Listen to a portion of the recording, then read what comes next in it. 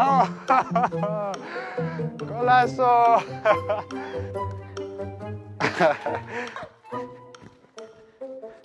I win, dude. My name is Marco Farfan. I'm a left back for the Portland Timbers, and I'm a student for Southern New Hampshire University.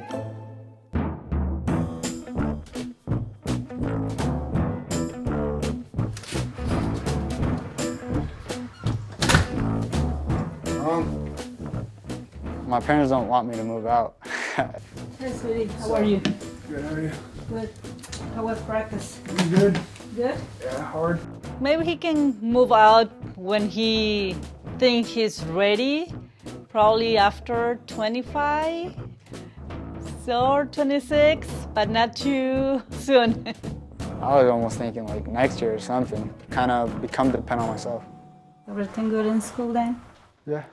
Hey dude, what's good. up? What's up? What, what time did you get home? Not too long ago, I went to pick up Joe from school. Growing up, school and education was always big for my family. My mom and my dad would always push my sister and my brother, and they also pushed me to try to do good in school. And so when I signed with the Timbers, they still wanted me to do some type of school to keep going because soccer's not going to be there forever. And so that's when the opportunity from SNHU came, and you know, I'm really thankful for that because I'm able to keep getting credits and taking classes while I'm playing soccer.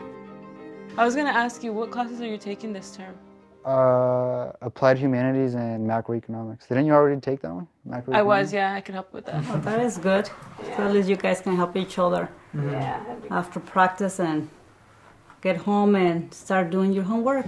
Yeah, that's like the good thing about SNHU. It's like I'm able to take one or two classes per term, and like I don't really stress on too much about it because I could really focus on soccer. So like I could really just, since it's online, I could just do it while I'm traveling and stuff. And you know, guys, that you guys have all our support and we will be there for you all the time. Thank you.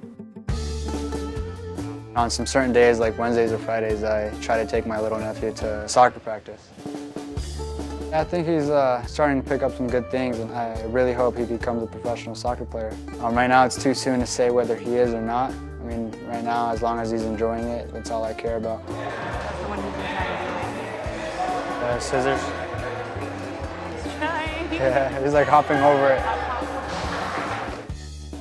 He's gonna start with that. Yeah. Oh, he got it. He got it when he rolls it with his right and stops it with his left.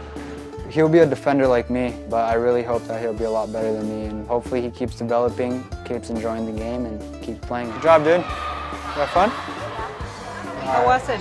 You like it? Yeah. Tired? Yeah, dude, you stink. You're sweaty. Let's go. My mom made some amazing food, some salad, some pasta, some chicken. Uh, it was amazing. You want some avocado, Marco? Yes, please. He's not picky. He usually make it easier for me. He just likes to eat like healthy stuff. I made some some of that chicken if you want. Yeah, looks good. So my mom really helped me with eating healthy. I just tell her that I want either want to eat salmon, chicken, shrimp, depending on what I want on the day. She just tells me what she has and what she's able to make. What did you do at school? Played. Play. Who's your favorite soccer player, dude? Hard to decide. What do you mean it's hard to decide? It shouldn't be hard. It's hard not to hear that I'm his favorite soccer player from the get-go. it's not me? It should be me, right?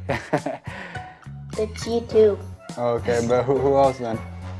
Um, from the other teams that we like. Do you know their names? I forgot. You forgot? So Marco's not your favorite player? Yes. Yes. Do you like to go to the games and cheer them? Marco? Yeah.